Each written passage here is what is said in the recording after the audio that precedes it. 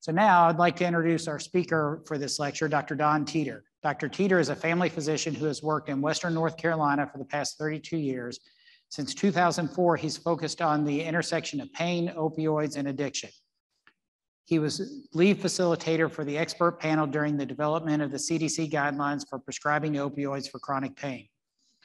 From 2013 to 2016, Dr. Teater was the medical advisor to the National Safety Council teaching or leading the efforts to reduce opioid abuse and overdose in the community and in the workplace.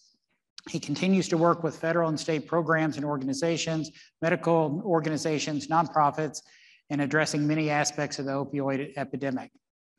In 2018, Don and his wife Martha moved to Denver, Colorado. While, while working on the public health aspects of the opioid epidemic through public speaking and lobbying, he also sees patients one day a week treating opioid use disorder and chronic pain in Waynesville, North Carolina by telemedicine. He also works one, one week each month as a pain and addiction specialist, seeing Alaskan Native patients with the Southeast Alaska Regional Health Consortium in, in multiple communities in Southeast Alaska. So without further ado, I will um, get you to Dr. Teater, and then he will carry us to lunch and then pick back up thereafter. Good. Thank you very much. Uh, I appreciate the chance to be back with you all today. I apologize that I can't be there. Um, uh, as you heard, because of COVID, we're able to do this remotely now, but also because of COVID, I can't be there. So I got sick a couple of days ago and uh, had already checked into my flight to arrive. And I'm sorry, sorry that I couldn't make it. I always enjoyed your conference. Uh, I want to thank the folks at Norton Healthcare for inviting me again this year. And uh, I, I, hope this works as well by, uh, by presenting virtually. Um, I'll start by saying that you know, I really am uh, a, a, pain management specialist now and, and still do some addiction treatment. But all of this really started back in, in 2000 when I started seeing, uh, in, in my primary care practice, I began seeing people addicted to opioids in the Southern Appalachian Mountain area and uh, began treating them with buprenorphine. Um, that really changed my life. And, and if, if you guys aren't prescribing buprenorphine, I'd really encourage that. It, it, it just changed my life. Uh, I, I, began to see all these folks that had been got addicted by me and and, and my colleagues basically, and um,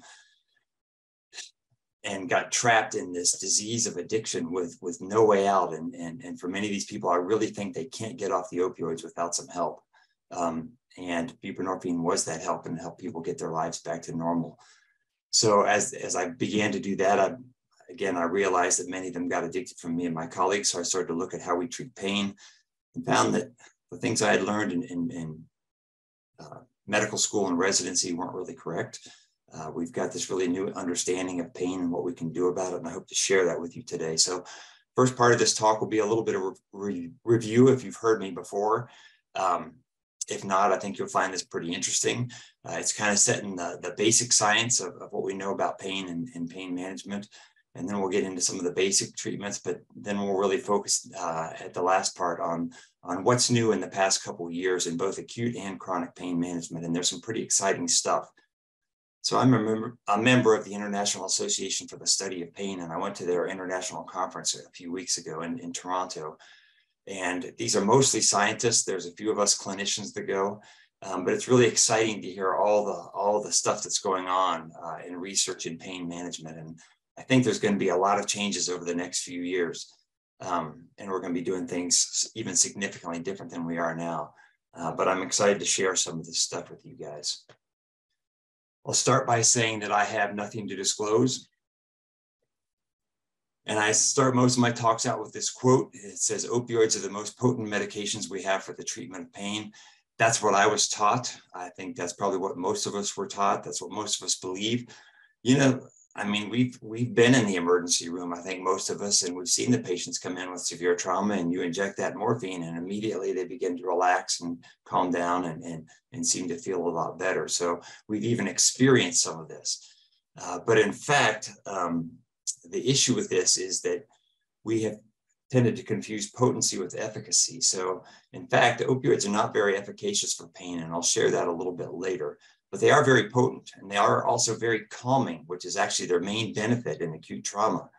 Um, they, they help people calm down and relax. Uh, and there, there is some significant long-term benefits of that as well. And, and I think I'll talk about that later uh, also. But as far as actually reducing pain, they don't do so well. Um, they do okay, but we've got some better options. And, and we're, we're going to talk about that in a little bit.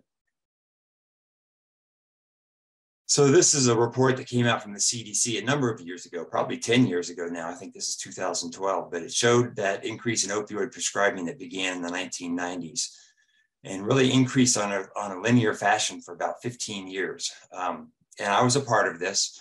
Uh, you know, I started practicing in, in 1988. So initially when I started practicing, we didn't use many opioids.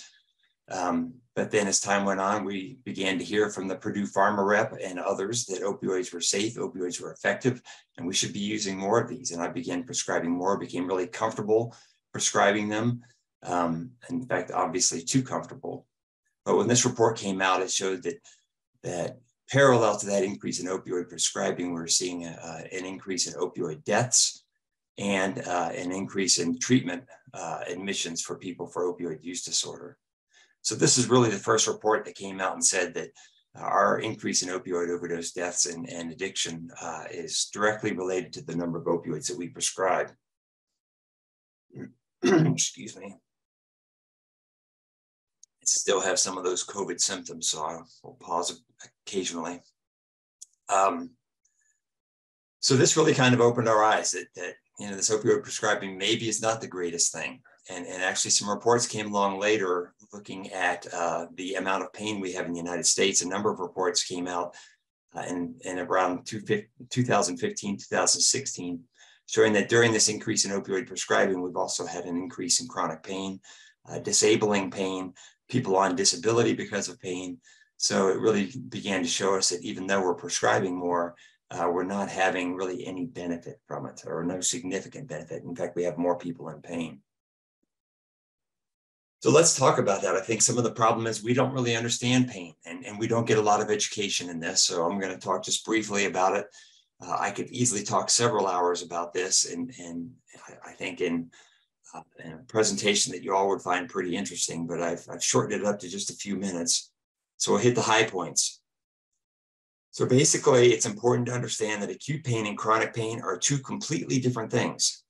Um, and and i was never taught this i didn't understand this and, and many providers still practice as though they are the same thing but chronic pain has just gone on a long a longer time but in fact we know now they're complete two completely different mechanisms they have different causes uh, they have different solutions uh, and if we keep treating chronic back pain for example chronic back pain if we keep treating that it's just a long-term back problem uh, we're not going to have good outcomes so acute pain is, is really pain that we understand. Usually there's either tissue damage or a threat of that damage. Uh, it's acute pain is like a warning for us. It's an alarm. It's, it's a warning sign that something is going on so that we will respond to it in a way that will make it better. And uh, we do, and it's helpful. And, and, um, and as we respond to it and pay attention to whatever's hurting it, gets better and we recover um, people that lose the uh, feeling of acute pain have a worse outcome. So you think of people with diabetic neuropathy, right? We do monofilament testing on their feet to make sure that they still have feeling because once they lose that, then they have worse outcomes. And then they have to be visually expect, inspecting their feet. And, and the leading cause of amputation today is diabetic neuropathy and diabetic ulcers. So acute pain is helpful if you can feel that sore, you're going to pay attention to it, you're going to get better faster. Leprosy is another example of a condition where people lose the feeling of pain. And we've all seen pictures of people with leprosy that have parts of their hands or fingers amputated because the same thing happens. They get an injury or sore, don't pay attention to it, gets infected, still don't pay attention to it because it doesn't bother them. And, and, then ultimately it gets into the bone and they need an amputation. Chronic pain, uh, well, let me finish by saying with acute pain, acute pain gets better as the tissue heals up. So again, that's really the way pain is supposed to work. That's the way we were created or the way we evolved um, so, that, so that the system works. Chronic pain, though, is very different. Chronic pain is pain that goes on for longer than three months generally. It's harder for us to find the exact source of that pain. So people will tell us they've got chronic back pain, we may do an MRI and see different lesions all along their back. We don't know which one's actually causing the pain. In reality, for people over the age of 40, we can do an MRI on any of them and they'll have abnormalities that'll show up throughout their spine, but they might not be hurting from it. So it's hard to say that, that um, chronic pain is actually coming from one particular spot. In fact, if it was coming from that herniated disc, they ought to be able to take their thumb and point to the one spot where they hurt. But they don't. You ask somebody with chronic back pain where they hurt and they motion over their entire lower back. Think of fibromyalgia, they hurt over their entire body. Uh, chronic daily headaches, their whole head hurts. So chronic pain is much more generalized. It's hard for us to find an exact source where that pain is coming from. And also with chronic pain, we respond to chronic pain in a way that actually makes it worse. So in acute pain, we respond in a way that makes it better, but chronic pain, we respond in a way that makes it worse. So everybody with chronic pain gets better with exercise. Everybody gets better with being outside some. Everybody gets better with uh, uh, increasing their socialization and going back to work. Um, um, but we respond to it by being less active, by staying inside, uh, by going to church less frequently, by you know staying home from work, uh, by spending more time in our bed or chair, and all of that makes chronic pain worse. So we get in this cycle of, of less activity, uh, less socialization. Uh, we begin to develop more pain that makes us even less active. Now we're starting to de develop depression. Depression makes pain worse. So we get in this really this downward cycle that makes it worse and worse. And what we actually know that is a lot of chronic pain is caused by a neurologic disorder. It's caused by an, an overactivity of the pain signal that's sending pain signals to our brain so people hurt, but it shouldn't be sending those signals.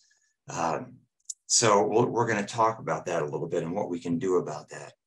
But as we think about it, acute pain is really a symptom. Uh, it's a symptom that something's going on and we got to pay attention to it. And as we do, it gets better. Chronic pain is a disease in itself. And again, it's caused by changes to our neurologic system uh, in a way that we feel more pain than we should and that we feel pain when we shouldn't at all. Um, and and uh, we respond to that in a way that actually makes the neurologic problem even worse. And again, gets us in this downward spiral that we need to help break people out of.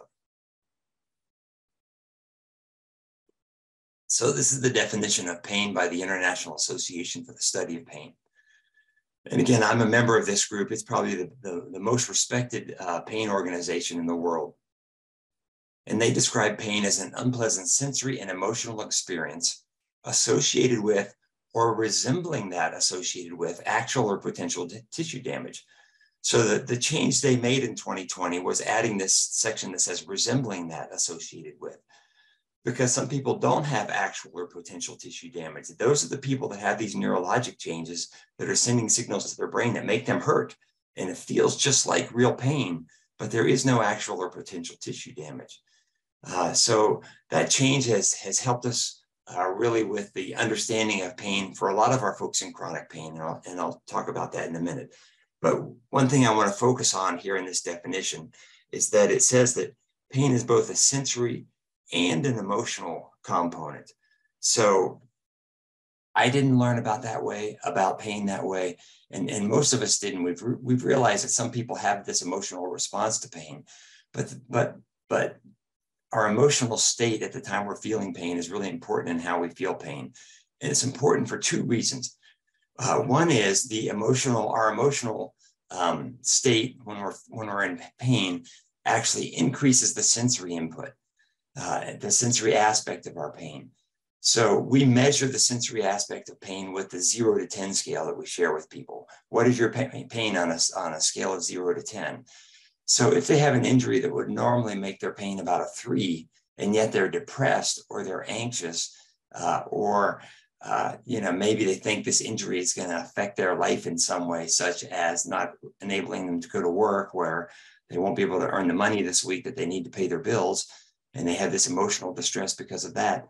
That alone will increase their pain from a three to a five. It makes them hurt worse but also the emotional a- uh, aspect of pain is important because that's what cause, that's what leads to the suffering from pain. So people that have a lot of emotional distress while they're having pain are suffering more. People that don't have emotional distress uh, while they're having pain, they don't suffer as much. And interestingly, uh, studies have shown that that those of us that, that provide medical care to these folks even though we're asking them where their pain is on a zero to 10 scale, which measures the sensory aspect, we are actually treating their pain based on their emotional response and their suffering. So people that have more of an emotional response and are suffering more are more likely to get more pain medications than those people that have less emotional uh, distress. So we have kind of recognized this in our souls, and I think all of us really recognize that that you know our role as primary care providers is just not to treat the disease, but it's to treat the individual and to address the, the rest of this that's going on. So that emotional aspect is really important. And, and we've kind of addressed that before, uh, maybe subconsciously, because we haven't done real well uh, assessing it at the bedside so much uh, in, in an objective way and recording that. What's not mentioned here, but is also important to understand, is that there's also this cognitive aspect of pain. And we understand the cognitive aspect of pain as the placebo effect or even the nocebo effect. What we think about pain actually affects how we feel the pain. So if if you or or one of your let's let's say say one of your patients has either acute or chronic pain and they come to you for help, if you were to hand them a sugar pill and you tell them this is going to really help your pain, just because they trust you, just because they believe you, when they take that pill, their pain will decrease on average about 20%. Um, and that's called the nocebo effect. And that's actually an important part of pain management. The opposite of that is the nocebo effect. And to be honest with you, our patients experience the nocebo effect because of our behaviors uh, more than really anything else that they experience. So the nocebo effect will occur if they come to us and we tell them, oh man, you blew your knee out. You're going to really hurt for the next couple of weeks. Um, first of all, by telling them they're going to hurt, that'll increase their pain by about 20%. But also, some of the words we use when we tell them they blew out a joint, they have this vision of this explosion in their joint and all this damage that's being done that actually makes them have worse outcomes. So if they come to us with a torn ACL and, and we use terminology like that, they're going to have worse outcomes than if they come to us and we say, gosh, you tore a ligament in your leg, in your knee. That ligament is about half as big as my little finger. It can be fixed. It will repair. It, it will be repaired. You can be back to normal in no time. You know, we'll get you in therapy. Um, you're going to hurt a little bit now, but it won't be that bad and it's going to get better and you don't need to suffer from this. If we talk that way, their pain is significantly reduced. So, really, how we report injuries to our patients or how we report their diseases even have a significant output uh, outcome on their uh, on their final outcome and how they do. So as we think about pain, I want us to think about pain really in these three dimensions: the sensory, the cognitive, and the emotional. Uh, and at the center of this lies the patient experience. So in the past, historically, we've just looked at this sensory aspect of it, and, we're missing so much more. So this applies to both acute and chronic pain. We need to be looking at these. We need to be addressing these, uh, and and and people are our, our patients will have better outcomes. So what's important to understand um, as we're assessing pain, or as we're trying to understand pain better, is that our brain changes how we feel pain. It modulates this sensory aspect of pain and how much we feel it. And it can do it to a dramatic degree. So this is really how it works. This guy has stubbed his toe, and you see in circle one there on the left that the inflammation from his injury has activated the, the cytokines and all those other inflammatory uh, um, chemicals, and they actually activate then our pain fibers, our pain neural, uh, nerve fibers that then begin to send this signal to our brain. And again, this is a warning signal. So these fibers have identified something's going on. They start to send this warning sign to our brain. It goes along the nerve fiber, which when it starts in our foot is pretty long. It goes all the way to the spinal cord, goes in, you see in circle two there, it goes in through the, the dorsal ganglion and, the, and to the dorsal horn uh, of the spinal cord, and it ends there. But there it connects to the second nerve, the spinothalamic nerve, which crosses to the other side and then heads up to the base of our brain. You see there in circle four that it ends in the thalamus. So the thalamus then connects this uh, connects to the somatosensory cortex, and once the signal goes to our somatosensory cortex, that's when we actually feel, that's when we physically hurt, when we feel the pain. So keep that in mind. That's the important nerve uh, activation that makes us feel pain. And when we talk about treating pain, we're talking about blocking the activation or reducing the activation of those nerves so people don't hurt as much. And so historically, we've looked at addressing what's happening there in the foot. But now we know there's other things we can address along this entire pathway that will make a difference. And some of that is what occurs in the thalamus. So you'll see there in circle four, the thalamus not only sends the signal to the somatosensory cortex, but it sends signals to other areas of the brain as well. And this diagram, for simplicity's sake, just has it going to two areas, but it goes to many, many areas. Uh, one is the amygdala. So if it's if if this injury was caused by something we're afraid of, our amygdala, which is our fear center, will will increase the signaling back to the thalamus and to the somatosensory cortex. So it'll have an effect on how we feel. Uh, if it's something that's happened before and we're not afraid of it, uh, then it'll turn that signal down. Uh, it'll also, the thalamus also sends a signal to the uh, hippocampus, which is responsible for memory recall. And again, if it's something we remember was a real problem before, it turns out the signal, so we'll pay attention to it more and we feel more pain. If it's something we remember was no big deal, it'll turn down that signal because we don't need to pay attention to it if it's no big deal. Uh, other areas it goes to uh, will have same effects. They, they modulate that final signal to the somatosensory cortex. So to give you kind of a, a visual understanding of how this works, our brain is really this fantastic organ and, and it does this modulation of all sensory uh, input so that it makes sense to us. So this is how it does it for vision. So as you look at this picture, I will tell you that square A and square B are the exact same shade of gray. But as hard as you look at that, you can't make square B look like square A. And that's because your brain is changing the input to your occipital cortex. Because if they look the same, the whole picture would look chaotic. Would, I can't imagine what that would look like if those colors look the same to us. To make sense, the square B is supposed to be a light square. So it changes the input to our occipital cortex so that it makes sense. Uh, and, and, and that's considering all of the surrounding figures, the checkerboard, the cylinder, the shadow that's being cast. As I start to take away some of those things that are affecting uh, how we view it, you'll see the colors look closer and closer to being the same.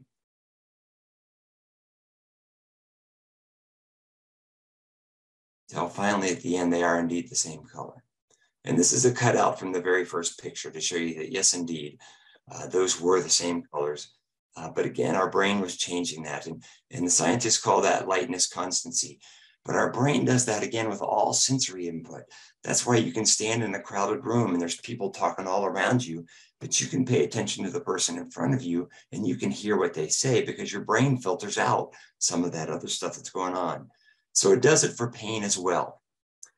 And, and as it does that, as you see for acute pain, the tissue input and usually is the major aspect of the pain that we feel, but our thoughts and our emotions have some impact on that uh, and they modulate how we feel that pain. And that's the way pain is supposed to work.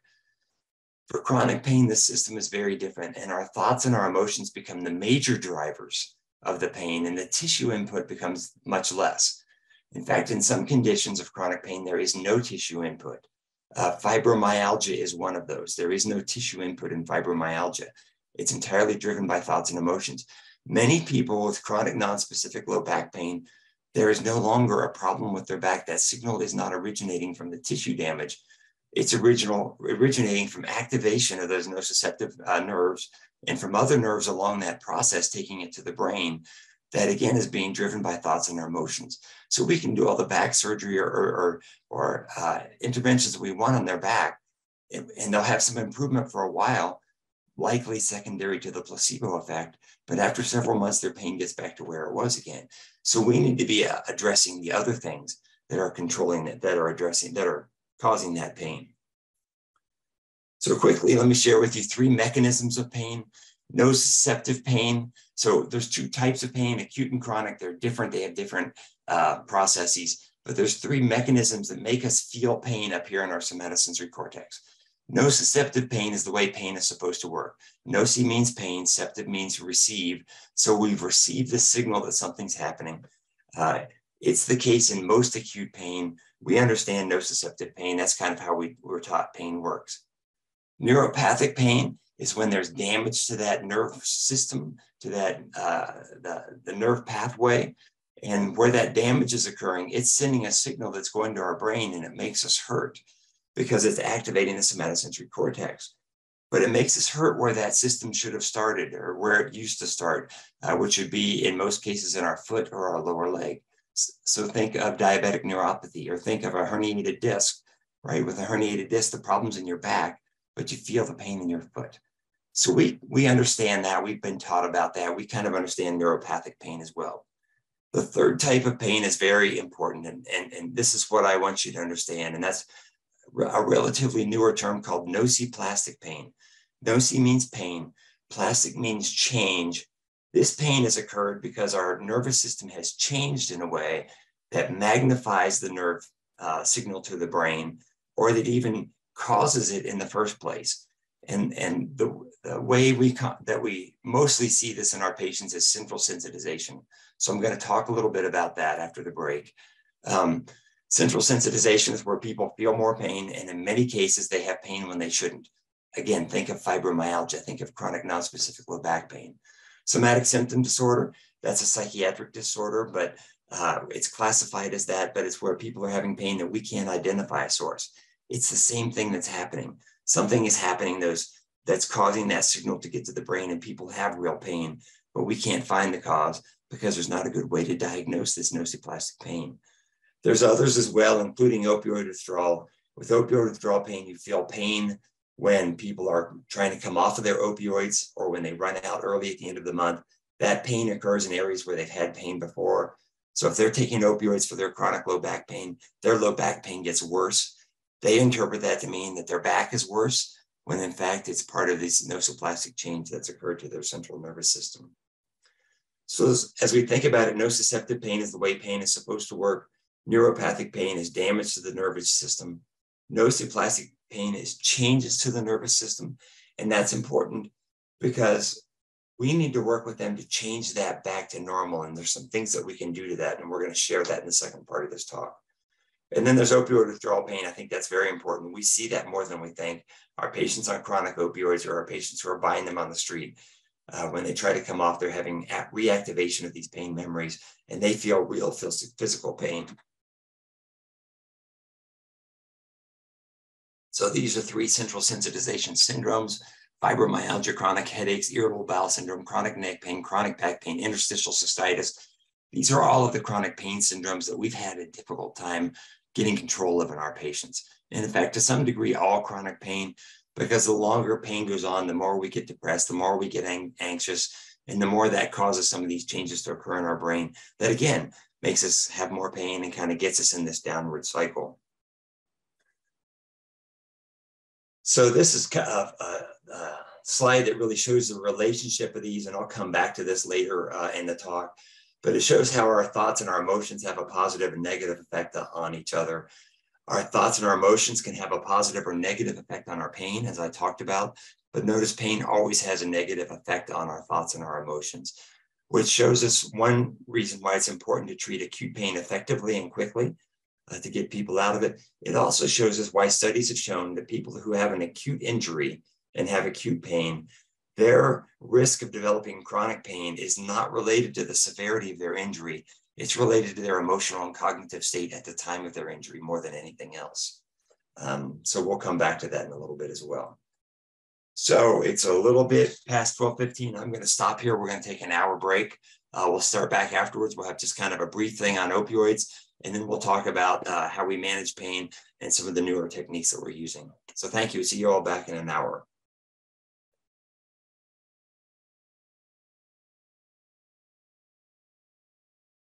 As Don mentioned, we will be, uh, feels like every time I raise my voice because the mic isn't on, it's, it's coming on.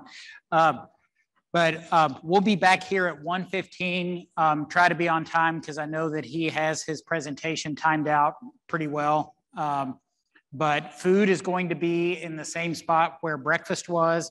If you weren't here for breakfast, it's just down the hall. Follow the crowd of the people who do know where it is.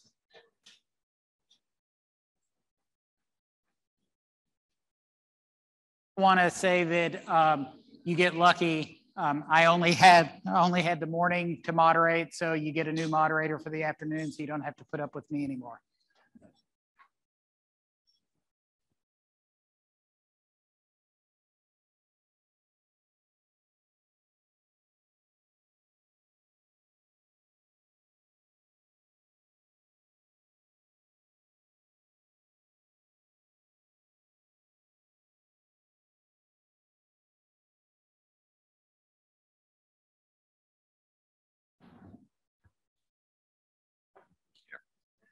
Good afternoon.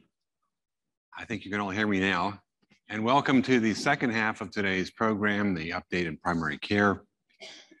I'm Dr. Paul McKinney. I'm a professor of medicine and public health at U of L, and I'm pleased to have been a co-director of this program for most of the past 26 years. Um, the second half of the program will lead off today with the continuation of the Robert H. Couch MD Memorial Lecture uh, part two is a continuation of updates in acute and chronic pain management by Dr. Donald Teater. Um, it's especially important after his presentation today for any questions that you do step to the microphone uh, and ask the questions so that Dr. Teater, who is remote today, can hear and respond appropriately. Thank you. So please do welcome back Dr. Don Teater, a pain and addiction specialist with the Southeast Alaska Regional Health Consortium and owner of the Teater Health Solutions. Dr. Teater. All right, thank you very much. I hope everybody enjoyed their lunch and are not too drowsy for the second part of this. We'll start briefly talking about opioids. Um, you know, we all learned that uh, they cause respiratory depression if you give too much, and we need to be careful with that. Uh, in fact, there's a lot of issues with opioids, um, and I'll just share a few of them to kind of get us started here in the second half. Uh, this is a study came out a few years ago, but was just cited uh, by the CDC. It's one of their studies they cited as they're doing their update to the CDC pain guidelines. Uh, and this was a two-year prospective cohort study uh, at a, a, series of pain centers throughout Portugal. Uh, and they looked at a total of 529 people. And this again, this is these were chronic pain clinics, and uh, about 60% of them were put on opioids at baseline, but that increased to about 70% after two years. And many of them were for strong opioids. And what they found was that after two years' time, the opioid users reported no improvement in pain symptoms, physical function, emotional function, or social and family disability. So, you know, we've been putting a lot of people on opioid pain medications for chronic pain. excuse me, without evidence that they help long, long term. In fact, the studies we we do have show that they probably don't. Uh, a lot of the long term use has been based on studies that lasted only about a month. Uh, and in those studies, they showed that pain improvement was about 10 to 12%.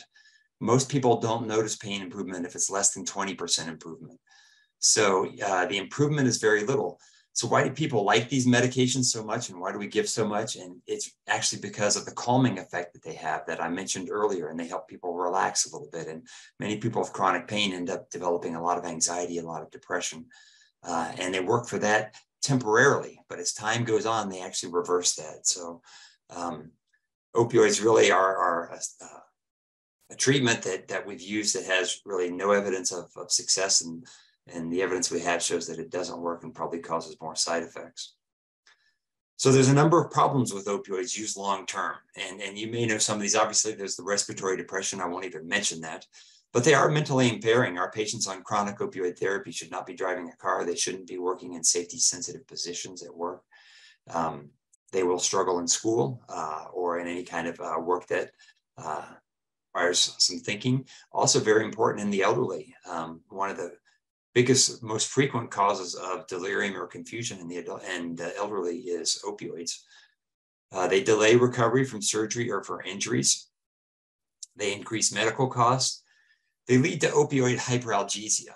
And so, you know, most of us have heard of this, but we don't really know that much about it. Opioid hyperalgesia occurs because the brain is trying to reverse the effects of the opioid. So, again, we we feel pain because it's supposed to be helpful for us and if we if we take ibuprofen uh, it works or, or other NSAIDs, it works at the area of the injury. Say we have a sprained wrist, it'll work by decreasing the inflammation in the wrist and we feel less pain.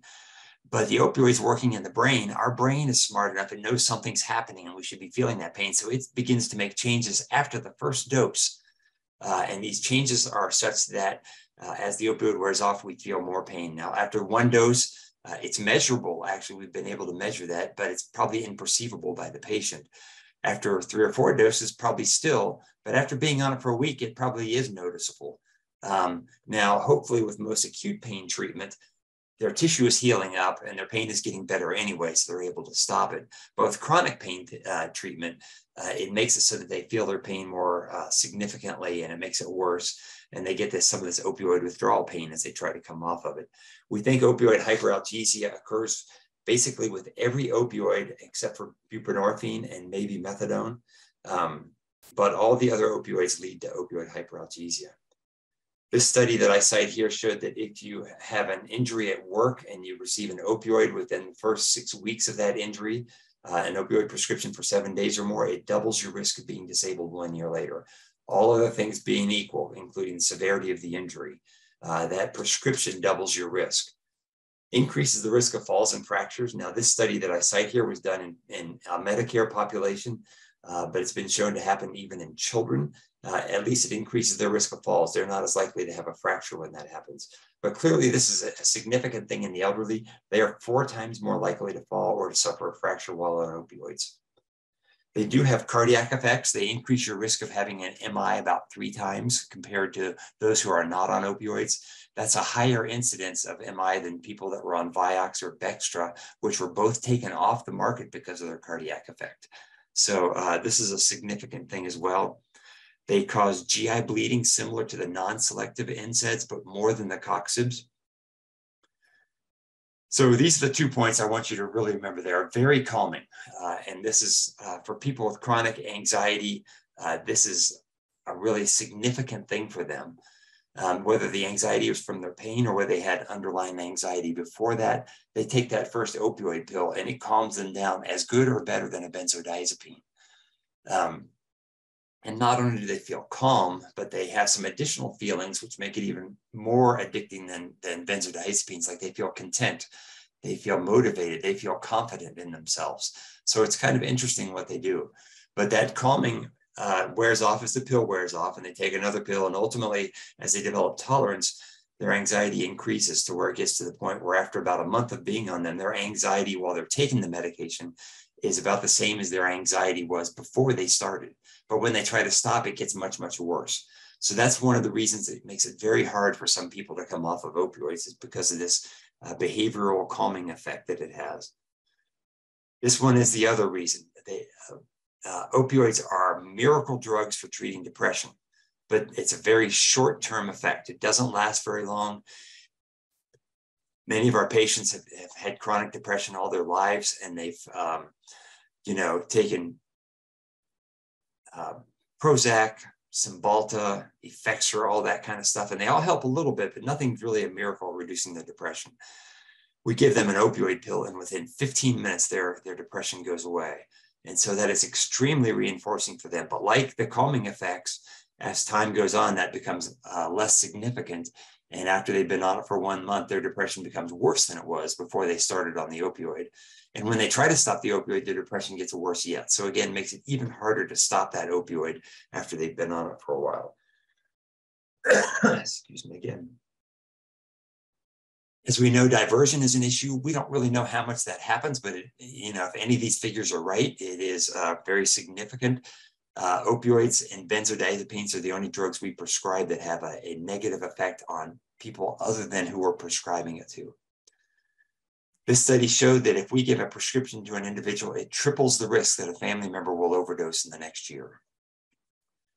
This study showed that opioids cause brain changes that can be um, measured or can be seen on an MRI after taking opioids for one month. Uh, when they did the study, they immediately stopped the opioids after one month. They did the MRI six months later, and brain changes were still there. And their conclusion was that uh, opioids cause brain changes that are permanent. And as we know, they can lead to addiction. So all of these are significant problems with opioids. And so you wonder why we would use them uh, for an indication like chronic pain when we've got no evidence of, of long-term benefit. In fact, the evidence we have shows there is no long-term be benefit. So this shows why opioids in people with central sensitization or nociplastic pain, that pain that is mostly driven by thoughts and emotions and has very little tissue input, why they are very dangerous in these people because most of their pain is being driven by their negative thoughts and their negative emotions. We give them an opioid, immediately it reverses that and their pain gets dramatically better. So they feel so much better. But not only that, but now they're happy when they were sad before. Uh, and now, you know, they're having positive thoughts and negative thoughts. Their family likes being around them better. But again, as that effect wears off over the next two weeks or the next month, their thoughts and emotions get worse, which then makes their pain worse. Uh, and, and so, again, that's why we see many of these people that have been on opioids a long time and their pain is no better than when it started and maybe worse, but it makes it really hard to stop it because as we try to stop, their pain gets worse uh, yet. And they just think they cannot come off of it. I will tell you that my patients that I try to taper off, and, and I see a lot of folks that are on higher dose opioids and we try to taper them off. Um, they have a lot of physical effects from that. They have more pain. Uh, they have um, a lot of restlessness. They have GI symptoms. They have a lot of stuff that goes on. But the thing that bothers them most is the anxiety that's associated with that, with those withdrawal symptoms. They oftentimes feel they're going to die, even if we take the taper really slow. So that's something that really has to be addressed and you have to consider, and they have to be warned about ahead of time. So I just briefly want to talk about addiction uh, from opioids. This study was done by the CDC a few years ago, and it showed that it, it looked at people that had been on opioids um, for a uh, short term. These are people that had not been on opioids before. They got an acute prescription, and they looked at, at uh, risk factors from that initial prescription that led to ongoing opioid use. And what they found was the duration of opioid prescribing for that acute prescription, for that acute pain problem, was directly related to how long they remained on opioids. So if they got a one day prescription, they had a 6% chance of still being on an opioid one year later. If they got an eight day prescription, that doubled the risk to 13%. And if they got a 31 day prescription, that increased their risk to one out of three being on it long term. You see, the three year probability is about half of that. I believe that most of those people that, uh, that were not still on them in three years were probably taken off by their provider. And then many of them maybe got on them from buying them on the street. So, our acute prescribing of opioids are really problematic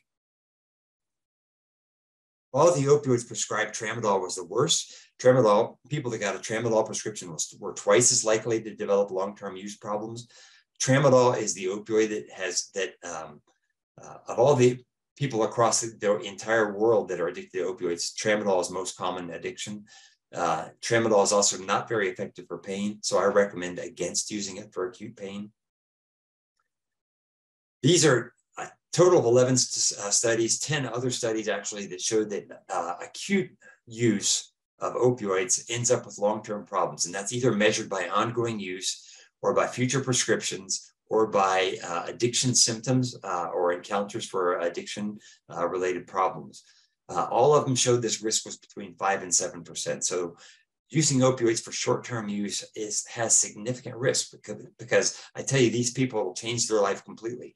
And this, many of these studies also looked at people that didn't get opioids and their risk is about 0.7%. So given that opioid prescription is really dramatic in increasing their risk. So what do we do? How do we treat pain? So obviously, I think opioids are not good. We need to avoid them when we can. Uh, these studies are looking at post-op pain. Uh, most of them are either after wisdom tooth removal. So these are younger people um, that get an opioid, that got an opioid prescription. Uh, or it looks at bunionectomy, which is obviously an older population, both of them painful surgeries. They look at how much the various drugs reduce pain, and they consider 50% pain relief successful pain relief. So that's the goal. If, if we reduce pain 50%, most people are happy with that. If we reduce it 30%, people notice that they're better, but they're not happy with that. So our goal is 50% pain relief uh, after an acute injury or surgery. And, and these are all post-surgical studies. So these people are in the uh, recovery room. They give them either the medication or the placebo. They ask them one to two hours later what their pain is. If it's dropped by 50%, then that's a positive result. So 200 milligrams of ibuprofen and over one third of people said their pain reduced by 50%. I thought that was a pretty good result. One extra strength Tylenol, 500 milligrams uh, acetaminophen, about one fourth of people. I also thought that was pretty good after these procedures. Doubling the ibuprofen doesn't make it much better. Looking at oxycodone 15 milligrams given after this, these procedures, and it's less effective than one extra strength Tylenol. Only 21% of people had adequate pain relief. Now they might have been calmer if they were anxious, uh, but as far as the, the, physical pain goes, the sensory aspect of their pain, it only reduced to 21%.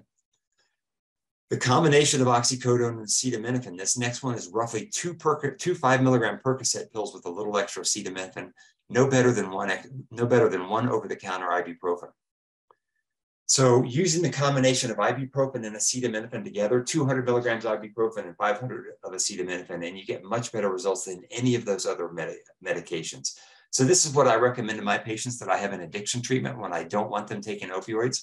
In fact, basically all patients I come uh, in contact with. I recommend this because it's safer. It has a side effect profile of placebo.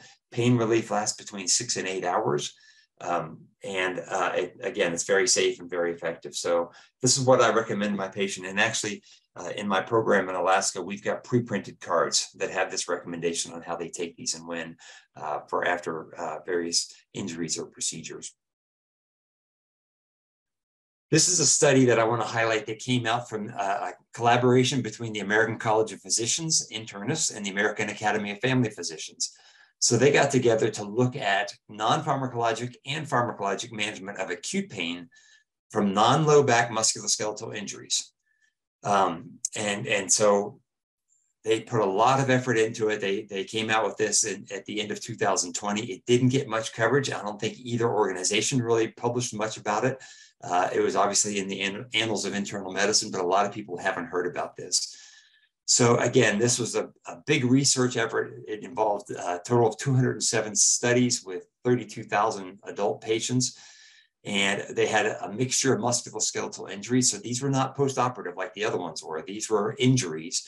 Uh, many have more sprains, strains, uh, whiplash, uh, even fractures were involved. Uh, and the, the median pain at the start of the treatment was six and a half on a 10 centimeter uh, VAS scale. So that's pretty significant pain that these people had. And they came out with several conclusions. So one is that they recommend topical nonsteroidal anti-inflammatory drugs with or without menthol gel. So that was their very first recommendation, their primary recommendation. We should be using topical agents instead of oral agents for these uh, injuries. So for, for strains, sprains, bruises, even fractures, if it's a closed fracture, topical uh, anti, not, non-steroidal anti-inflammatory drugs uh, are, are great. They're as good or better than the medication than the pills with less side effects. Their number two A recommendation was using NSAIDs and or oral acetaminophen. So that's the next option. That's what you do uh, uh, instead of the, uh, the topical or maybe in addition to the topical. 2B was equal to 2A, so that's why they gave them both an equal uh, setting. And this was to use acupressure or TENS units for acute pain. Now, I don't know if any of us were taught about how to do that or have learned since this came out, but this is really something we need to look into more. And recommendation three was we recommend against using opioids for acute non-low back musculoskeletal injuries, including tramadol. So again, we need to get away from using opioids for acute pain. And so my contention is based on this and the previous um, Cochrane reviews that looked at post-op surgery Outpatient treatment of pain should almost always be with non-opioids. Now, there might be some times when they can't take NSAIDs or acetaminophen for one reason or another, and maybe we do need to use them for very short term, but know that uh, even one day is a risk and more than one day has higher risk. So we got to use as few as possible. So this is a typical NSAID. This is um, uh, one you can buy over the counter, diclofenac sodium uh, topical gel. Uh, you know, it's been around for a while. It used to be prescription. Uh, now you can find it at almost any pharmacy or uh, many convenience stores or, you know, Walmart or some of those other uh, box stores. Diclofenac sodium gel, I don't know if you've ever used it before. You ought to buy a tube if you haven't and read the instructions. You have to use quite a bit. So you have to put on a long line uh, of, of, the gel if you're using it on a major joint or uh, you know major area you have to use a lot of this stuff it's a gel it rubs in very easily it evaporates very quickly and dries up Uh, it also has to be applied four times a day to be effective. So, you know, that affects uh, the compliance some, so you need to keep that in, in consideration. Uh, but it does very well.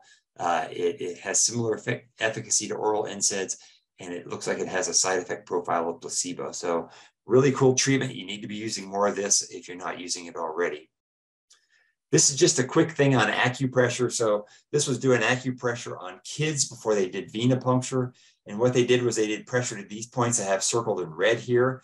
Um, and and they did they put pressure in these areas with their thumb for about 30 seconds each and then they did the venipuncture they pulled these kids before they did the, the, the venipuncture and asked what pain they thought they were going to have and they thought it was going to be about four out of five 4.5 out of 10 uh, and that that's in the acupressure group but the other group that didn't get acupressure the control group they thought about the same thing they expected it to be about four and a half out of 10 the pain experienced after the procedure dropped dramatically. It was, you know, around two out of 10 for those who had the acupressure compared to, again, four and a half, almost five out of 10 for those who didn't get the acupressure. So pretty dramatic decrease. There's also been studies showing for hip fracture, acupressure applied out in the community by EMS providers before they take people to the hospital uh, decreases their pain by about 50%. So you know, this is something that I used to kind of laugh at many years ago, but there's pretty significant studies showing that this is effective, and we need to be looking into to, uh, to you know knowing more about this and even offering it. So those are some things that are new in acute pain. Those are new guidelines from ACP and, and AAFP. I encourage you to look them up, read more about it. it. You know, it was a good study. It was very comprehensive. As I said, it didn't get the publicity that it should have. I think it's very helpful. Uh, I still am not confident enough myself to use acupressure for my patients, but I do use a lot of the other stuff. So what's new with chronic pain treatment? Uh, we'll talk about that. As I mentioned before, chronic pain is very, very different. Um, it's mostly driven by our thoughts and our emotions. These are our, our patients that have been difficult for us to manage, our chronic low back pain patients, because they've had multiple procedures and things done multiple medications. None of that stuff works very good. So what do we do? Well, we need to work on those thoughts and emotions. So behavioral therapy really becomes the cornerstone of treatment. Um, cognitive behavioral therapy is the one that's been studied most. Uh, mindfulness has also been helpful. And by the way, CBT and mindfulness can also be helpful for acute pain for people that are going to have surgery. If we teach them some of these techniques ahead of time, they have less pain afterwards but in particular, it's been shown for chronic pain. I'll share some studies with you in a few minutes. Um, the mindfulness, so CBT kind of changes how we think about pain, changes our thoughts about pain. Mindfulness really helps us recognize pain, but not react to it because it's our reaction that often makes it worse. Uh, there's others like uh, acceptance and commitment therapy has, has some evidence showing it works, and so other um, behavioral techniques uh, that are promising. EMDR, uh, may uh, have some role. There's some early evidence that shows it can be helpful. So we're learning a lot about this and there's a lot that can be done. And I'm going to share a few recent studies in just a minute about this.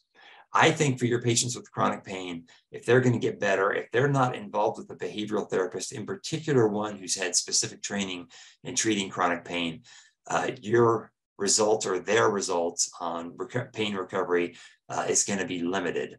Uh, adding in the behavioral therapist really expands what we can do uh, and makes it makes us much more likely that we're going to have over 50% reduction in their pain. Physical therapy and occupational therapy are important.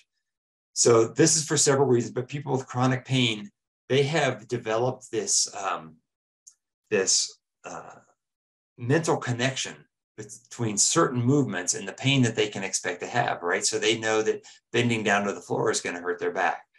So it, it begins to work much like uh, what we saw in the experiment with Pavlov's dog, right? You remember that? Uh, he would present the dog with food and he'd measure, he had a, a, conductor that measured the amount of saliva the dog generated. And when it saw and smelled the food, it started to generate saliva, preparing to be ready to eat it. So he did that for a little bit, but then he started ringing a bell first and then giving the dog the food later. And after doing that long enough, the dog's subconscious began to associate ringing the bell with the food. And so the saliva started coming when you first rang the bell. Where our brains do that with pain as well. Our brains begin to realize, well, bending down is going to hurt your back. So even as you start to bend down, uh, your back starts to hurt because your brain is sending that pain signal to your, uh, or your, your central nervous system is sending that pain signal to your somatosensory cortex because it wants to warn you before you do it. So you start to have pain even before you really start to do the, the movement that's a problem. And so there's all these associated thoughts with our movements. And so PT and OT can help us gradually start doing those movements, get more active, start using those muscles, and they really extinguish that memory. So you begin to learn that you can do these, uh, these uh, movements without pain, and it helps your pain start to get better. There's some other things they can do. One's called pain neuroscience education. I'm going to talk about that in a minute. That even improves their efficacy at reducing pain. But your, your PT and OT folks need to be your other friends. So there's a lot of things we can do and a lot of people that need to be involved. But in particular, when you're treating people with chronic pain, you need to have relationships with behavioral therapy and PT and OT uh, so that they can be your, on your team as far as treating chronic pain with your patients.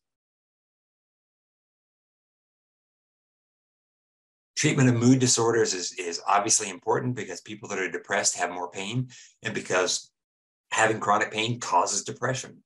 So as we treat their mood disorders and they're feeling better, it actually makes them feel less pain. So that's an important thing that we need to do. Exercise is important for everybody. Um, and, and the key is, is you don't want them to go out and overdo it because then they associate exercise with pain. You want to kind of have them gradually increase what they're doing. It might just be walking out to the mailbox that's, you know, 15 feet in front of their, their front door and then back again uh, once a day and then twice a day. And then you know, gradually increase that as they can do more and more, kind of find out what their limits are and keep it a little shorter than that. Exercise helps everybody. A study recently even showed that people with severe osteoarthritis of the knees, walking on a regular uh, basis makes them feel less pain. So we need to get them to do it, even though it hurts sometimes, but not to the point where it hurts and disables them. Distraction is also very important. So the less we are thinking about our pain, the less we notice it and the less it hurts. Um, and, and so this can be really important. So the last thing you want your patient doing is sitting around home thinking about their pain, which is what most of our patients are doing. So you want them to get out more. You want them to do other things. You want them to get together with friends. You want them to work on getting back to church, uh, to doing some fun things. Uh, all of these things not only take their mind off the pain, but begins to change some of those neural pathways, some of those nociplastic changes in their brain um, it begins to change them back to normal so they start to feel less pain. Virtual reality is a great thing for this. So if it's a younger uh, individual who might enjoy that, have them get some virtual reality goggles and play some games. Uh, you can get on those things and you can take trips to other countries and see these wonderful things in other countries. So distraction can be very important. Acupuncture, acupressure, yoga, Tai Chi, other alternative therapies are, can also be very important. There is evidence that shows that these can be helpful. Um, you know, once we make referral to acupuncture, that's kind of getting outside of our medical system oftentimes. So we kind of lose, uh, not necessarily control, but but contact with what's going on there. But still, it's something we need to do. Uh, yoga can be helpful if they have back pain. Maybe they can do chair yoga. So some of this is helpful just because on its own it works but some of it is helpful also because now it's getting the patient more active in their own treatment. So part of what I tell patients with my first pain consult, my first visit with them, is I help them understand that if they're coming to me for them, for me to give them something to make them better, they're not going to get much better. That this involves a whole change in thinking that they need to be really the active person in their treatment. They will be the most important person in their treatment. Their behavior and their response to our recommendations will be the biggest driver in their outcomes. And we're going to work with them on those things. Um, and, and this, these are some of the things that help them kind of get outside of the regular system and to be doing more on their own. Amitriptyline, duloxetine, gabapentin, all those help a little bit and they can be part of a comprehensive pain management program, but they can't be the cornerstone of treatment. None of them increase pain or none of them reduce pain more than 20%. And I think I mentioned before, 20% pain reduction is enough that you'll barely notice it. So again, they can be a part, maybe all of these, maybe some of these, um, but uh, they can't be the only thing we do or else patients won't be satisfied with their pain care. And that's what we've seen uh, with a lot of our pain patients in the past where this is all we've done. We've switched around with different medications um, and, you know, they're maybe a little bit better, but not dramatically better. The answer is really not in the pills. Some procedures may reduce pain. So I'm not anti-procedure, certainly with acute disc herniation in their back where they're having back pain and they're having radiation of pain into their leg, um, epidural steroid injections, uh, even surgery might reduce that leg pain. It might not improve the back pain actually, but it might help the leg pain. Uh, so that can be helpful with chronic pain that's been going on so uh, for a long time. Those aren't nearly as effective. In fact, Cochrane reviews looking at um, doing spinal fusion for spinal stenosis says that the evidence just isn't there that this is effective, and yet it's done all the time on our on our patients, and they tend to get better for a while, but then they get worse again. Um, but there is some roles, radio frequency nerve ablation, it temporarily can reduce back pain. Uh, it's not a miracle. Typically, re relief is three to six months, but it does give people some relief for a little while while they can start the rest of this program. So there is some role of these things, but they're seldom the, the cornerstone. Um, um, spinal cord stimulators, you know, studies have shown on average about 30% improvement with those. So again, if we're counting on just that, it's not going to do it. We need to be doing other stuff as well. So going back to the behavioral treatment, this was a, a, a meta-analysis done a few years ago, looking at several studies, looking at um, back pain and, and, treatment with CBT techniques and mindfulness techniques and how well they help. And it showed that compared to usual care, people that, that learned mindfulness and used it, or that got CBT for pain, uh, about they're about twice as likely to have market improvement in their back pain. So that's pretty significant for our chronic back pain patients. So we need to be thinking about that. Other studies have shown that oftentimes this doesn't last. It tends to wear off because we get back in our old habits. I'll talk a little bit more about CBT in a minute. Uh, but CBT changes your thinking about pain, but we tend to get lazy and get back into our old habits and get back to our old thinking and the pain starts to return. So CBT often has to be kind of an ongoing thing. So we've had data on CBT for pain. Um, which is a kind of a cool thing. You know, you remember the diagram I showed earlier, and I think I have it coming up here again in a minute, where pain is kind of a relationship between our thoughts and our emotions and, and the sensory aspect. Well, it's hard to change your emotion, and it's hard to just change the sensory input, but we are able to change our thoughts, and that's really what cognitive behavioral therapy focus on. It changes your thinking about the pain. Because as time goes on and we get more negative, we start to have these negative thoughts, these automatic negative thoughts. We begin to catastrophize all of that makes your pain worse. And we can change that and help that help that thinking change. So there's been several studies in the last year that have looked at special programs that really work on focusing on how people think about their pain. And uh, the most recent one was this one by Dr. Donnino that came out of uh, Beth uh, Beth Deaconess Israel Deaconess Hospital in uh, in Boston. And so this was kind of intensive. This was a 12 week course, three hours each week.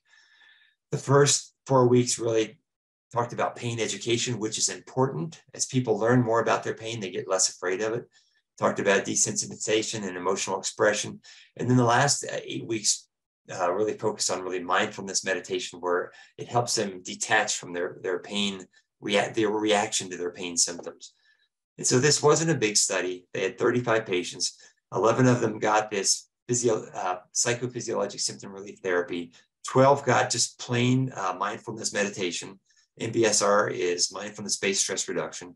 And 12 got usual care, which was, you know, uh, anti-inflammatories and exercise recommendations. Caveat on all these studies I'm going to show you is participants had to be willing to consider a mind-body intervention. That's what they said in this study. A lot of our patients don't want to do that. If we tell them that they can see a behavioral therapist to help their pain, they think we're saying, oh, you're saying it's all in my mind. Well, it's not. So, you know, we need to kind of learn how to talk with them to help them to, to know that that our behavioral therapists now have some tricks they can do that can help us turn off that pain signal. So this is the results from this. People that got the PSRT treatment, um, it looked at the percent of patients with complete functional re recovery. So these are people that with chronic back pain that have been limited for a long time. And after eight weeks of this treatment, you know, about three fourths of them had complete functional recovery. They were almost back to normal. Now, again, over time, that kind of drops down, and probably as time went on, that would go back to normal. But it just goes to show how this treatment can have a dramatic improvement in our function and even in our pain. This showed the percentage that had complete pain relief. And notice at the end of treatment, over 50% of back patients had were completely pain-free just by doing this treatment. So again, you, you think of your chronic back pain patients and how much success we've had in treating them with medications and even just physical therapy. And now we're seeing these dramatic responses with some of these behavioral health techniques. Uh, these will be some of the treatments in the future. Empowered Relief is another study that was done. So this one was done out of uh, Stanford by Beth Darnall. And this is simply a single session, two hour pain class. So this is not behavioral therapy. This is just psychoeducation, teaching people about pain, what pain is, how they can do mindfulness themselves, how they can do certain CBT skills at home themselves. And it's just one single two hour class. So this is something that's easy to do. It can actually be done by non-clinicians. So in my organization in, in Alaska, we have an LPN who got the training on how to do this, and she does that for our people uh, in, in Alaska. So it can be basically anybody. You don't have to be a therapist. You don't have to be a healthcare professional. But you do this two-hour class. People sit through the class. Uh, you know, they ask them some questions, but it's not really a behavioral health technique. Uh, but it changes their thinking about their pain. And so this had a few more patients, uh, 263 patients, again, equally divided between those that got empowered relief, those that got the typical cognitive behavioral therapy for pain that we saw before was effective, and those that just got health education about low back pain. And so one of the things they found was that pain catastrophizing decreased dramatically, more than with just health education, but similar to CBT. And that's one of the goals in CBT is to help reduce pain catastrophizing because that reduces pain. Pain interference also decreased, similar to CBT's technique. So basically, this showed that the way people think about their pain, it was similar to having a, a prolonged CBT training by a CBT therapist, which can be eight weeks or more. This two-hour class was effective in doing that, and it's easy to do. Pain only decreased by one point, but they're, they're catastrophizing less, and they have less interference in their life from CBT from uh, the pain. So again, something significantly effective in our chronic pain patients. The final study that came out recently, and that was just, just this year, is one called one on pain reprocessing therapy. And this was done in Boulder, Colorado at, at University of Colorado. And, and, you know, I live in Denver, so this is right nearby. Uh, and they looked at 151 individuals with chronic low back pain, chronic non-specific low back pain. And again, these people, the thought is the great majority of their pain is this nociplastic or, or central sensitization type pain. So 50 of these people got pain reprocessing therapy, which is a, a series of, of, of, meetings with a behavioral therapist, kind of a structured set with a behavioral therapist. 51% got placebo uh, subcutaneous saline uh, injections. So they actually had a class on how placebo helps a lot of people. And then they got an injection of saline saying, this is a placebo injection. We, we think this might help you. And then 50% got, or 50 of them just got usual care where again, we give them an exercise program and NSAIDs. Um, and so what they found, these are some of the results. So on the left is pain intensity. So uh, placebo and usual care, about the same. So our usual care, as you see, isn't doing much. It drops pain about a point. Um, placebo does also, but the PRT was much more uh, impressive in how much it dropped pain intensity. You see uh, a next one, kind of a grouping of how much pain intensity uh, dropped. And basically in the PRT group, everybody had uh, improvement except for one person where it stayed the same. Whereas in the other groups, a number of people got worse uh, and, and obviously it was less effective. And the percent of patients reporting pain-free or nearly pain-free after treatment was dramatically more in the people that got this pain reprocessing therapy by a therapist than our usual treatment. And, and the effects, you know, again, they start to wear off after a year, but still pretty significant where, you know, half of the patients are saying they're either pain-free or nearly pain-free. We've got no other treatments that do this. Um, so this is one of the newer things. You'll be hearing more about this. Uh, if your therapist you work with don't know pain reprocessing therapy, or if you don't have someplace that does empowered relief or, or the other uh, pain treatment, uh, you need to work with your therapist to get them trained in these, in these programs. Now, I will say there's some caveats in the pain reprocessing therapy in the Boulder back study. So first of all, this was done in Boulder, Colorado, which is where the University of Colorado is. It's a university town. Essentially, everybody was highly educated. Everybody is upper middle class. It's an expensive place to live. You don't live there if you're working a minimum wage job. You have to live outside of town and you commute into town. So these are upper middle class, highly educated people. Uh, and I would bet that a lot of the folks we're seeing uh, don't fit into that category. They also all had chronic low back pain. So this work for fibromyalgia? You know, probably because it's a similar pain um, mechanism with the nociplastic pain, um, but we don't know that for sure. They also didn't have really horrible pain. They had baseline pain that was only four out of 10. So these are people that are probably still working, still doing their daily stuff. They're just bothered by their pain. These are not the people that are in bed all day long and are saying their pain is 12 out of 10. And, and so again, maybe not the regular people we're seeing in, in our office. Um, so can this be, can this work for those folks? You know, we don't know. And in our experience at SEARHC is it works better on those people that are highly educated, highly motivated, regardless of their pain, uh, and even people with pretty severe pain. But but you know they need to be kind of smart because uh, it's kind of a, a, an intense therapy. All of them also volunteered to receive behavioral therapy for treatment of their pain.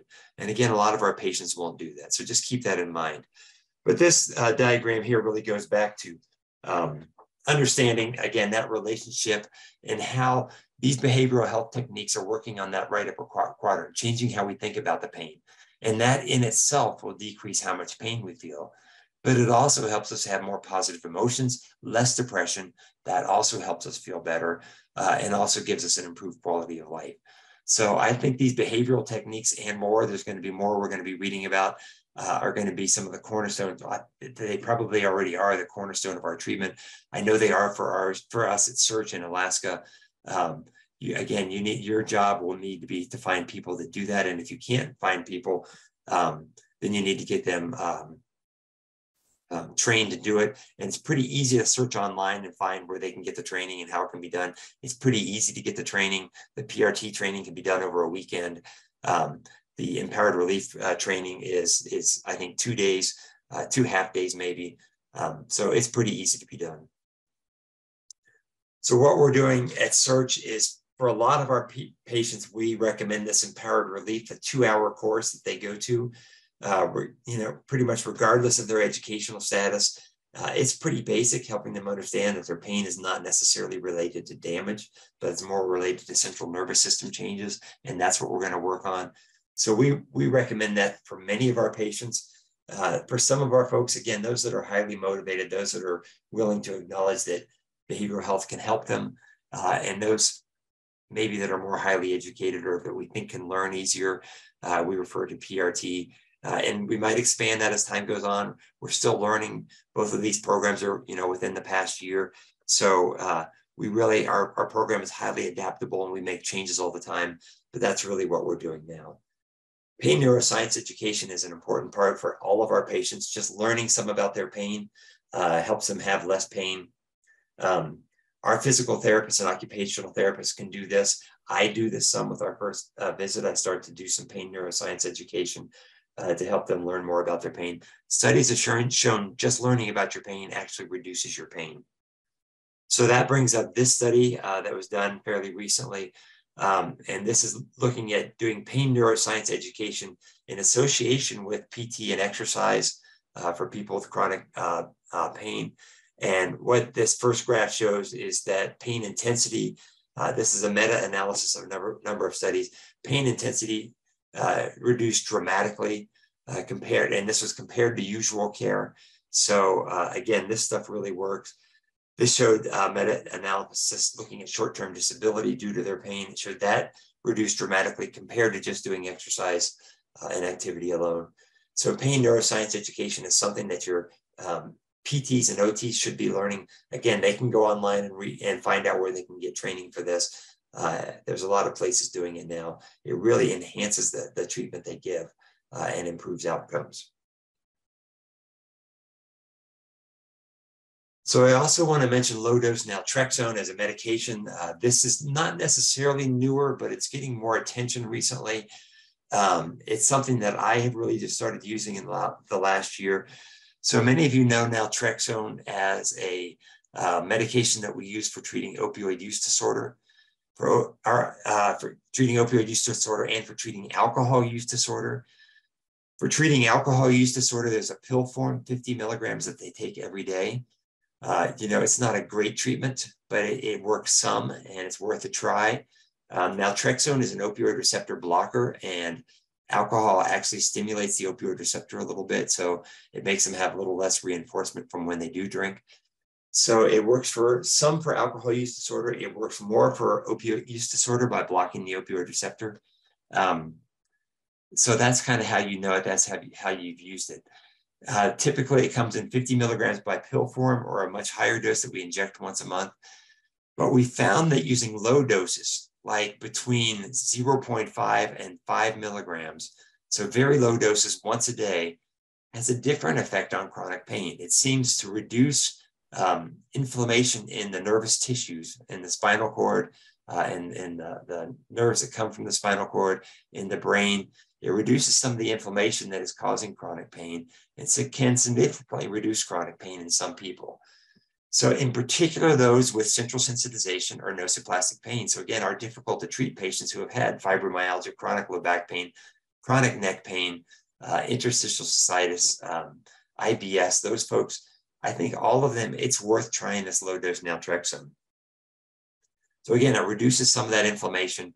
Um, some people have dramatic uh, response to it. Some people don't have much. Some people might just get some placebo effect. It is extremely safe, though. There's no side effects. It does have to be compounded. The tests that have been done on this look at different doses, anywhere from 0.5 to 4.5. Some studies even gradually increase the dose from 0.5 up to 4.5. I have never understood the science or the reason for doing that. I usually just start my patients on the 4.5 dose. It has to be compounded. It doesn't come commercially available in this dose. So you have to find a compounding pharmacy that can do it. Um, and, and they can make up capsules for you that have 4.5 milligrams once a day, and then the patient takes it. The pharmacy we use for this in Alaska, they compound it for us. It costs the patient about $50 a month. Uh, oftentimes insurance won't cover it since it's not really a prescription. Um, but an alternative to this, if your patient can't afford it, is they can compound it themselves. They can dissolve a 50 milligram tablet in orange juice, and you can go online and find out what those measurements are and how to do it.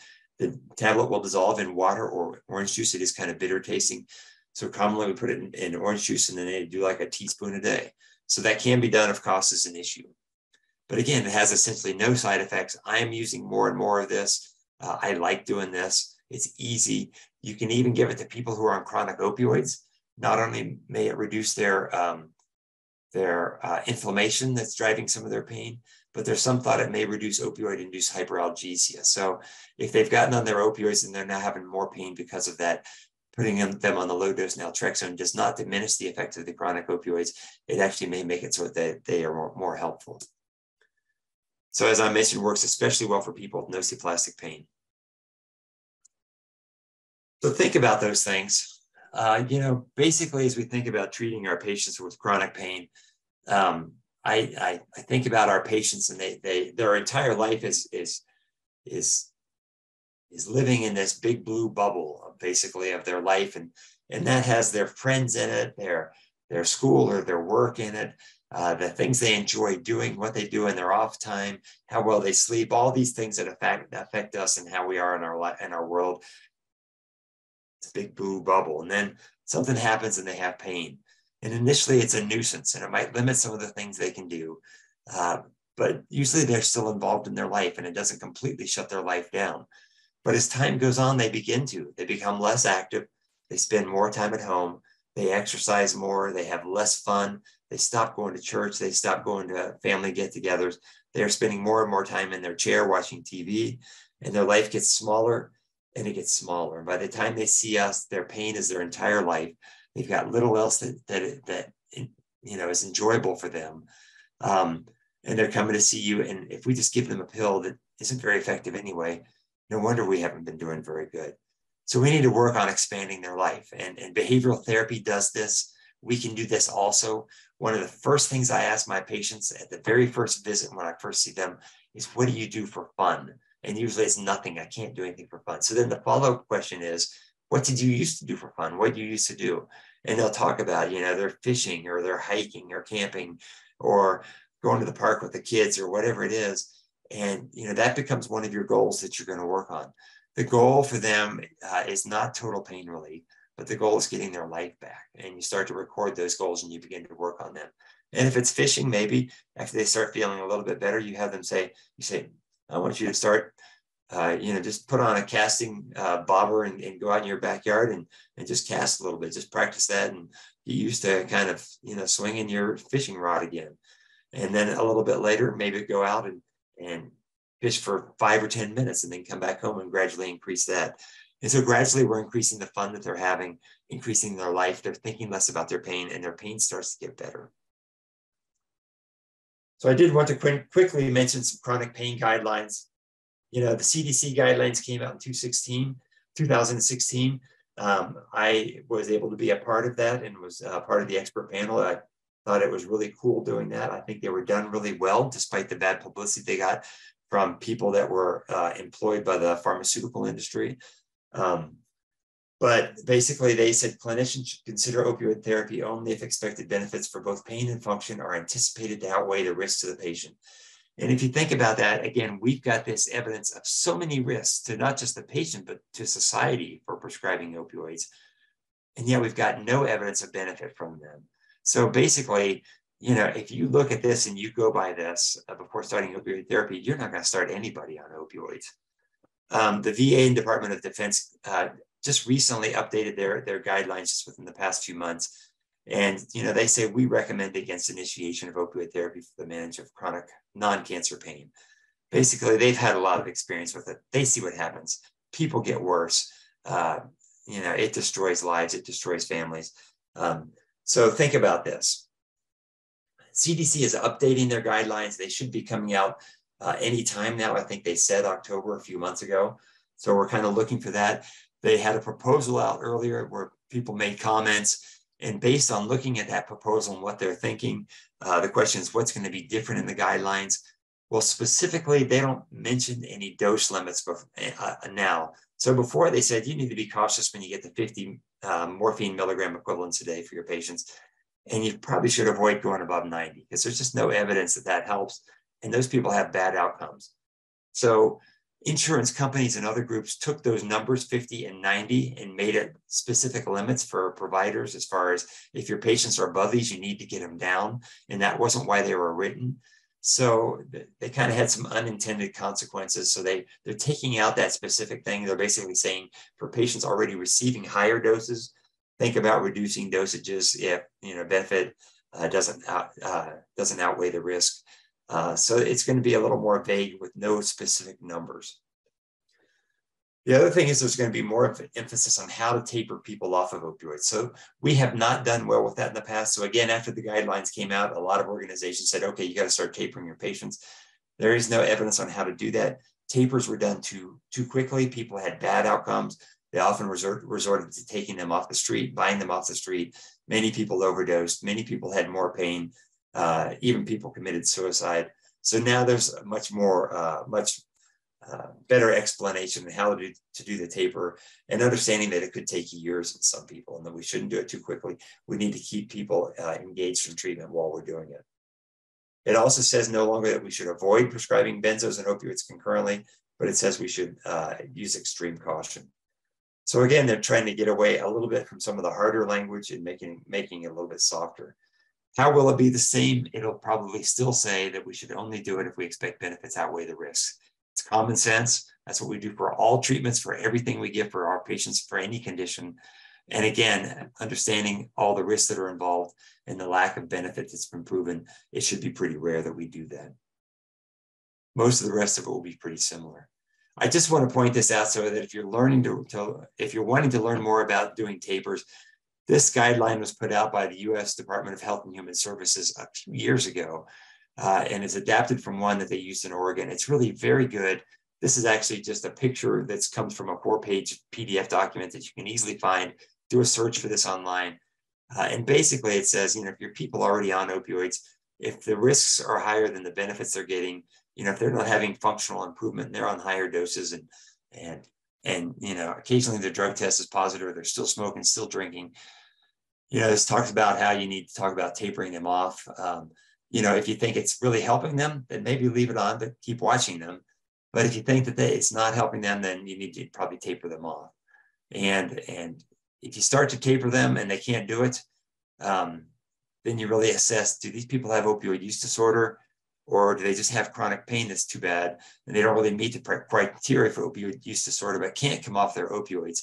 And really, for both these people, you put them on buprenorphine. Buprenorphine is a special is special opioid. Um, I put a lot of my patients on buprenorphine. For a lot of them that are already on opioids, we switched that. Studies have shown that switching to buprenorphine can reduce pain about 50%, and then maybe taper them off later if, if, if they're open to that. So buprenorphine is really a special medication for both addiction and pain. It's the only opioid I use for chronic pain. Um, it is, first of all, very powerful. One milligram of sublingual buprenorphine that we use for addiction equals 30 milligrams of morphine by mouth. You don't develop tolerance to buprenorphine. So if we find a dose that helps them, they can stay on that forever. It has a ceiling effect on respiratory depression, so it's safe, but it does not have that ceiling effect for pain relief. It's a wonderful antidepressant compared to all other opioids that make depression worse. This one actually treats depression uh, because of its effect on the uh, on the kappa opioid receptor. It's effective in neuropathic pain. It's the only one. It's not immunosuppressive. All the other ones are. Has a high affinity for the opioid receptor, so it gets on there and sticks on there. There's no hormonal effects. All of the other opioids affect the HPA axis and decrease testosterone levels. It's less impairing, does not affect the QT interval. It's safe in renal insufficiency or renal failure. It's easier to take people off of it if you want to do that and people on stable doses don't feel high. It really is a, an amazing medication. Again, it has so many benefits. I think it's the only one we should use for chronic pain. Uh, so if you have someone with chronic pain, you're thinking about an opioid, start with buprenorphine. When are opioids definitely indicated following severe trauma? So in particular, life-threatening injuries or trauma that has severed a limb, um, there's a very high risk of PTSD. Opioids, because of their calming effect, actually decrease that risk of PTSD. So there is some benefit for a short period, three to five days or less if possible. End of life, I think everybody should get them. Again, that calming effect is very important. And treating opioid use disorder, uh, buprenorphine and methadone are way more efficacious and save lives uh, compared to uh, um, abstinence-based treatment. So those things are all good. As with everything, it's a risk benefit thing. We need to consider that. We haven't done so well with that in the past. I urge you to think about that for all patients with pain, whether it's acute or chronic. And in summary, pain is really a complex problem. We need to think beyond the pills. That's kind of what's gotten us into trouble. So that's my contact information. Feel free to reach out. I'm happy to take questions for a few minutes. Okay, so I have a lot of patients with um, medicinal marijuana request for their chronic pain. And I was curious uh, what your thoughts were. So, you know, regardless of what you'll hear from people, we don't have good research on that. And um, uh, real experts in the field tell us that uh, the studies that have been done that look at long term pain relief are conflicting. A lot of those studies have actually been done by the marijuana industry. The marijuana industry is similar to what the cigarette industry was back in the 1950s. They have a lot of money. They're doing a lot of uh, research to try to support uh, you know, the use of marijuana. Uh, it is an addicting substance. So for that reason, I don't like it because obviously I do a lot of addiction as well. You know, I do think in the long term of all addicting substances, it's safer than cigarettes are. But uh, with conflicting long-term information, you know, or long-term outcomes, um, I don't recommend it. I do have patients who use CBD and either by mouth or they have it as an oil that they rub on their pain. And some of them think that works. We don't have a lot of evidence on that, but I do think that is safe. Um, I think a lot of its effect might be placebo effect. It costs you know a fair amount of money, but if my patients are already using it and they say it helps, I say, well, you go for it, and and I reinforce that placebo effect. I say, you know, I've had several patients that say it really helps them. So I'm glad it's helping you. I think you should keep doing it. So I support CBD if they're already doing it. I don't necessarily recommend it because it's kind of expensive, and that's an issue for some of our folks. Um, but I'm not opposed to CBD. But for, for marijuana itself, yeah, I'm not a fan of that. You know, I tell people if they're already doing that, I say, you know, long term outcomes, it might make your pain worse. I just want to make sure you know that. But I don't really push real hard for them to come off of it. Could you please comment on uh, how much dose to use for buprenorphine for somebody with Percocet three times or, you know, hydrochloric yes. times? So that's a great question. How do, you, so, how do you how do you approach it, and how do you start? Where do you end? Right. Okay, that's a great question. Um, so as I said, you know, buprenorphine is a cool drug. I, I've been using it for about 20 years now to treat addiction. Um, I'm not on it. I don't have addiction, but it really changed my life when I saw what it could do. Um, so for people with addiction, we put them on the sublingual formulations. It has to dissolve under the tongue. Uh, it gets very high plasma levels. Uh, they take it once a day. It prevents craving. It blocks the effects of other opioids. Uh, it's great for that. I began to see many of my patients that, that say they got addicted because they had chronic pain and they got long-term opioids for that. I began to hear them say their pain was getting better as well. So I began to look into that. And, and as we know, buprenorphine has been around a long time. When I first got out of residency, it was the drug of choice for pain relief for post-op uh, patients after surgery uh, because we didn't have pulse oxes back then. And all the other opioids caused respiratory depression. So you could give them big doses of buprenorphine and they didn't stop breathing. Uh, so it's felt to be very safe. They, you know, you, and, it, and it worked well for pain. Um, but then we kind of got out of using it for pain. Then we got back into using it when the patch came available, the Butrans patch. Uh, it actually gives you much lower serum levels or plasma levels of buprenorphine than does the sublingual formulation. But if you're if you decide to start somebody on on an opioid for chronic pain, you've done it for everything else. They're doing the PT, they're doing the behavioral health. Um, start with the patch, start with the lower doses. If it's helping some, then go up to the higher doses. And if you get to the highest dose, but they're still having some pain, but it's still helping some, then I switch to the sublingual formulation. I transition to that as like one milligram sublingual. It does have to be given three times a day for pain relief. Once a day works great for addiction, but it has to be three times a day for pain relief. Uh, if they're already on buprenorphine for addiction, but they have this chronic pain, just have them divide their dose up and take it three times a day. Um, some people you do need to go to higher doses. So I've got people on as much as 32 milligrams of buprenorphine a day for chronic pain, and they're doing pretty well on that. Again, very safe, not impairing. They don't develop tolerance. Um, so, you know, you kind of go to what you need to. I think there's evidence saying that we could go higher than 32 if we need to, but I don't think I've had anybody that's needed to up until now. You know, one, one thing I will mention to you. So first of all, you can use buprenorphine, even the sublingual formulation, even without the X waiver. You don't need that. I'd encourage you to get it anyway in case one of your patients tells you that they have addiction and they want something. It's real easy to prescribe. The majority of my patients in addiction treatment now that come in to see me, when they come in as a new patient, they say, I've been buying buprenorphine on the street. My dose is eight milligrams twice a day. I'd just like to get a prescription for it. So I would say that's 80% of my new patients nowadays. Uh, buprenorphine is diverted it has a, a positive public health uh, benefit for that for those uh, pills that are diverted. So you know that's another thing about buprenorphine. You don't have to worry so much about if some of it is getting diverted because studies shown that the great great majority is used to uh, uh, help people kind of treat their own addiction and gets them into addiction treatment. If they come into addiction treatment and they've tried buprenorphine already in the street, they're four times more likely to be successful than if they've never tried it before. So you don't have to worry about it so much. Uh, and it's pretty easy to get people on it nowadays. Okay, I'd like to thank like to thank Dr. Teater for an excellent presentation and uh, for making his contact information available as well for those of you who may have any follow-up questions.